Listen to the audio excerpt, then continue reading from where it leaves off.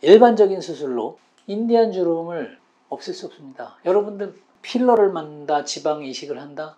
절대 없어지질 않습니다. 인디안 주름 없애는 게 하안검 수술비보다 두 배, 세 배 더 비쌉니다. 근데 하안검 수술을 하면서 인디안 주름을 없애면은 이것이야말로 일석이조입니다.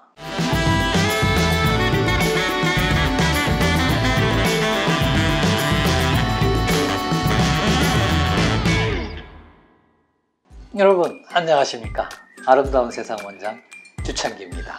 오늘은 TV를 여기저기 봐도 오징어 게임. 어디 뭐 나 출퇴근하면서 라디오를 들어도 오징어 게임. 넷플릭스가 뭐 몇천억을 벌었네 몇 조를 벌었네. 그 얘기가 많이 나와서 저도 오징어 게임을 봤습니다. 참 어릴 때 추억이 많이 떠오르는 영화입니다. 저도 사실 거기에 나오는 게임 몇 가지를 했던 기억이 납니다. 왜 제가 오늘 오징어 게임의 이 설명을 드리냐면 오징어 게임에 보면은 인간성을 상실한 허성태 씨가 거기서 나오더라고요. 근데 허성태 씨를 보면 아 역시 연기는 대단하게 잘하시는구나. 우리가 감정을 벌써 몰입할 수 있다는 건 아마 연기자의 힘이 아닐까 그렇게 보여집니다. 제가 직업이 성형외과 의사다 보니까 허성태 씨가 항검 수술을 하면 정말 정말 젊어지겠다. 그런 생각이 들더라고요. 그래서 허성태 씨 얼굴을 여러분들께 한번 어떤 점이 저를 그런 식으로 자극을 했는지 그 부분에 대해서 설명을 드리도록 하겠습니다. 야 여러분. 오징어 게임에 나온 허성태 씨 모습입니다. 여기 보면 눈 밑에도 아주 불룩하고 눈 밑도 주름이 많습니다.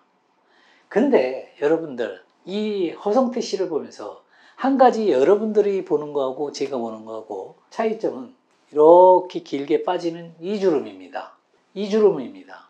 이 주름은 흔히 인디언 주름이라고도 하고 인디언 밴드라고 그러기도 하고 뭐 여러 가지로 불리는 경우가 있습니다. 이 주름은 항검을 잘 하시면은 없앨 수 있습니다. 근데 일반적인 수술로 인디안 주름을 없앨 수 없습니다. 여러분들 필러를 만다, 지방 이식을 한다? 절대 없어지질 않습니다. 인디안 주름은 유지 인대가 표정을 짓고 나이를 먹으면서 피부에 콜라겐 성분과 뭐 히알루론산 성분 이런 거를 잃어버리면서 생기는 주름이거든요. 이 주름을 없애려면 어떻게 해야 되냐? 눈밑 절개를 하는데 여기서 끝 쪽에서 그만큼 0.5cm 정도 절개를 더하는 겁니다.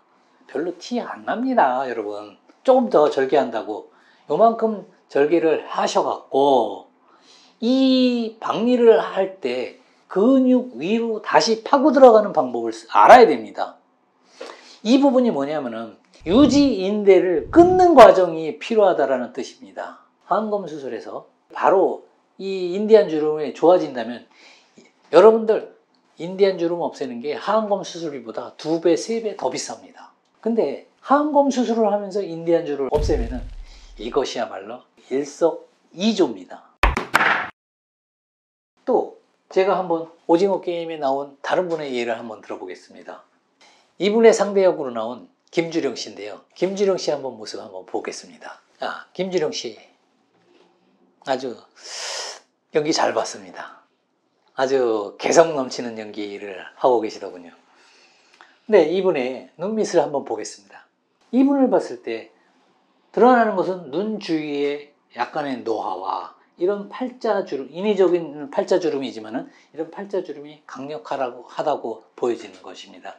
이런 부분이 제가 설명드리는 바로 눈 밑으로 절개를 해서 수술하는 하안검 방법으로 수술하게 되면 아무래도 여러분들 흉터가 미세하지만 보일 수 있고 연예인이다 보면 더더욱 이미지에 예, 영향을 줄 수 있기 때문에 연예인들 같은 분들은 특히 조심을 하셔야 됩니다. 그래서 그럴 경우에는 눈 안쪽 결막을 절개해서 어, 수술하는 방법으로 하안검 수술을 하시는 것이 아주 아주 효과적이고 이미지 손상에 전혀 가지 않는다는 것입니다. 이렇듯이 허성태 씨 같은 경우는 인디안 주름을 어, 하안검 수술을 하면서 없애주면은 아주 큰 이득을 얻는 거라고 말씀드렸습니다.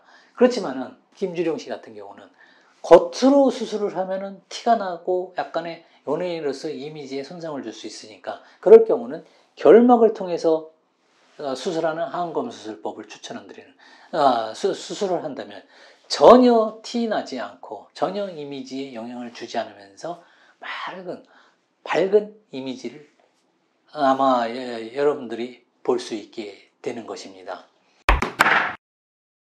제가 이 오징어 게임을 통해서 이분들이 지금 당장 이런 수술을 해서 이렇게 모습을 변화라 이런 것이 아니고 성형외과 의사로 봤을 때 이런 분이 있다라면 여러분들에게 추천해 줄 수 있는 그런 아마 대상이기 때문에 오늘 오징어 게임 에 나오신 두 배우분을 근거로 제가 이런 설명을 드리게 된 것입니다.